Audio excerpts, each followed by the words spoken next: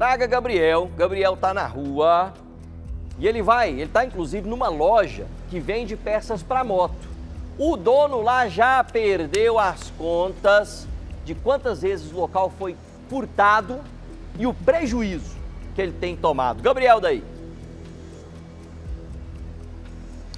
Pois é, Branquinho, eu estou aqui no setor rodoviário, onde nesta madrugada essa motopeças aqui foi furtada. Eu vou mostrar para você que está em casa agora o que é que os criminosos fizeram com a câmera de segurança.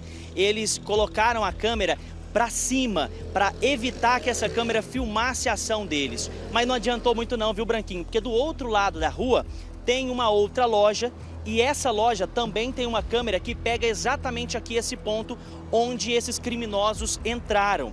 Agora a polícia está com essas imagens e possivelmente já está atrás desses criminosos. Vem comigo porque eu vou mostrar para você, Branquinho, o que é que eles fizeram para poder entrar nessa moto peças. Aqui nós estamos na parte de trás dessa loja, apenas onde os funcionários e a parte administrativa funciona e esses funcionários entram por aqui.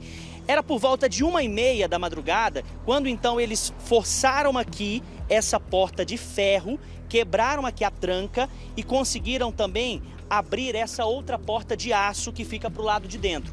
Com uma marreta, eles quebraram aqui o cimento e conseguiram abrir primeiro essa grade e depois essa porta. Eles entram para cá, Branquinho, vem comigo aqui, Juscelino e eles vão direto nos objetos mais caros, como por exemplo, nesses pneus aqui, ó. Esses pneus que estão aqui embaixo têm um valor inferior aos pneus que estão lá em cima. Só que eles furtaram os pneus que estavam lá. Foram mais para frente, furtaram também capacetes, furtaram os mais caros. Bem aqui, ó, tinha uma caixa com 80 correntes. Essas correntes são muito caras eles também levaram essas correntes. Eu vou conversar aqui agora com o proprietário dessa loja, porque eu quero saber, além disso, o que mais que eles levaram. Boa noite para você. Boa noite. Pessoal, hoje a gente teve um prejuízo aqui, cara, estimado mais ou menos 25 mil, entendeu? É, o pessoal levou os capacetes mais caros, entendeu? Então eles selecionaram bem o que eles queriam, os pneus, eles levaram só pneu de moto grande entendeu? E fora as correntes, né? Então hoje aqui, cara, no setor rodoviário a gente está refém desses marginais, né? Hoje aqui o pessoal que mora aqui na Redondeza não tem segurança para sair de casa, dá 9 horas ninguém sai de casa mais. Fora os outros comerciantes, amigos, parceiros nossos aqui que já fecharam as portas. Teve um rapaz do gelo mesmo que só esse ano furtaram ele três vezes. Então o rapaz decidiu fechar as portas de vez. Então, Branquinho, está muito difícil aqui conviver nesse setor rodoviário.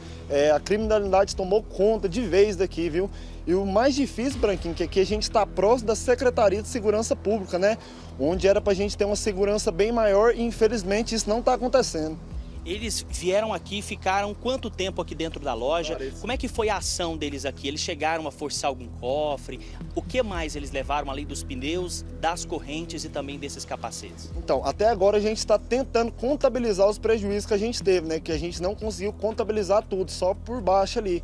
Mas eles foram só nos itens mais caros. O cofre mesmo eles não tentaram arrombar, eles mexeram na sala da administração, bagunçaram tudo lá em busca do dinheiro, mas não acharam. Né? O dinheiro todo da loja fica dentro do cofre. Cara, é muito complicado, cara. Prejuízo aí de mais de 25 mil reais. Gabriel. Cara, estimado até agora, né? Porque a gente não terminou de contabilizar, Gabriel. mas eu creio que vai ser bem a mais, viu? Chegar nos 40, 50 mil fácil. Sim, Branquinho. Gabriel, é, eu queria entender se eles têm alguma desconfiança. Se, nesse caso, foi alguém que conhece, né? Porque pelo jeito aí foi em cima do que tinha de item mais caro, ali dos itens mais caros ou se são, né, na desconfiança deles, os velhos conhecidos pebas, noias, lá da região ali da, da rodoviária de Campinas, da região ali do aeroviário, num pedaço da Vila São José, até ir lá para o setor rodoviário. O que, que eles acham? Se é alguém mais especializado nesse tipo de furto ou se são os pebas mesmo, os noiados, que quer trocar isso aí a troco de crack na biqueira. Então, o que o Branquinho está perguntando é justamente se a pessoa que entrou aqui, ela tinha uma experiência, porque ela foi nos itens mais caros, ou se vocês acreditam que foi realmente os pebas, esses usuários de droga que acabam ficando aí na rua. Cara, hoje é meio difícil de falar, né? Porque a criminalidade aqui tá muito grande, mas, cara, só de ver o que o cara levou, ele sabia o que ele queria. Então ele foi nos itens mais caros, entendeu? Se fosse um cara que não sabesse, ele ia levar as coisas mais fúteis aí, que não teria valor, não sabe o que, que tava levando mais, não. Ele foi só nos capacetes mais caros, pneu mais caro, corrente mais cara. Então, cara, é um cara profissional e ele sabia bem o que estava fazendo e ele sabia do procedimento da loja, como funcionava aqui. Ele não veio sozinho, né? Foram dois. Foram duas pessoas. Na câmera mesmo de filmagem mostra uma pessoa, mas bem no cantinho da câmera dá pra ver que são duas pessoas, entendeu? Muito difícil, cara, muito difícil. A gente paga imposto caro para estar tá passando por isso daí. E não é a primeira vez, né? É a quarta, quinta vez que a gente é furtado. Muito difícil mesmo. Prejuízo incalculável. A polícia já foi acionada, viu, Branquinho? Já está com essas imagens em mãos e está tentando agora encontrar esses criminosos, identificá-los primeiro para depois conseguir encontrá-los. Mas essa situação, ela não é apenas uma situação desse comércio. Ele falava no início que outros comércios aqui da região também são alvos desses criminosos. Inclusive aqui do lado, em uma loja de lanchonete e foi furtada três vezes só esse ano. E uma distribuidora de gelos acabou fechando porque não conseguiu reabrir, porque a mercadoria foi toda levada, é isso? Foi toda levada, cara. O pessoal levou tudo dessa distribuidora de gelo. A única coisa que eles deixaram lá foi a máquina de gelo, que eles não conseguiram carregar, porque se eles conseguissem, eles iriam levar também. Infelizmente, né, nosso amigo, infelizmente, teve que fechar as portas, né? É muito difícil, cara. É, hoje a gente tá vivendo, vamos na Cracolândia, entendeu? Aqui depois da meia-noite, uma hora da manhã, cara, você pode contar nas campas, passa mais de 100, 150 usuários de droga aqui, cara. Então ficou muito difícil esse setor aqui, infelizmente, viu, Branquinho? Vou mostrar aqui, vem comigo, Branquinho. Eu quero mostrar para o pessoal de casa como é essa loja. Eles entraram aqui nesse corredor, que é o estoque dessa loja, mas eles não ficaram só aqui, não.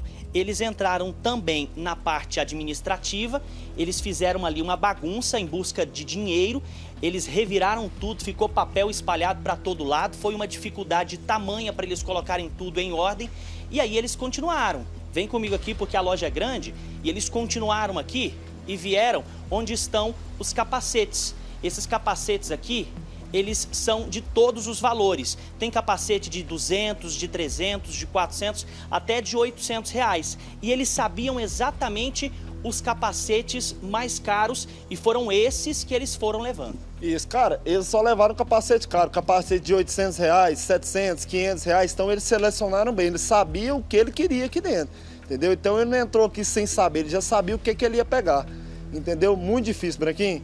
Mais de 25 capacetes até agora que foi contabilizado o prejuízo. E só capacete caro. Felizmente a loja tem seguro, Branquinho, mas eles não querem viver nessa insegurança de a qualquer momento chegarem aqui e terem a mercadoria levada pelos criminosos que acabam circulando aqui no setor rodoviário. Eu volto com você no estúdio. Com certeza, viu, Gabriel? Muito obrigado, agradeço aí e pode contar sempre com a gente. Agora sim, eu não sei mais o, o, como é que faz, viu, pessoal? Porque esse problema aí dos noiados ali que vem da região aqui do centro, Campinas, já está subindo ali aeroviário, São José, rodoviário. Eu, eu, eu, eu, nem, eu não tenho nem como falar da polícia, porque a polícia militar está fazendo o trabalho dela. Né? Não tem como ter uma viatura por rua, isso aí a gente, né, é humanamente, administrativamente impossível. Agora, como é que faz? Não pode internar compulsório, nem tem lugar para internar também, porque não se investe também, né? Ninguém não se investe em clínicas para colocar o pessoal e a lei também não ajuda porque não pode. Aí fica lá, tudo solto, durante o dia, vagando, né? Igual os Walking Dead lá, e à noite é isso aí, ó. À noite é furto, é essa falta de segurança. Todo dia a gente fala, como é que a gente vai fazer? Não sei, eu mesmo não sei.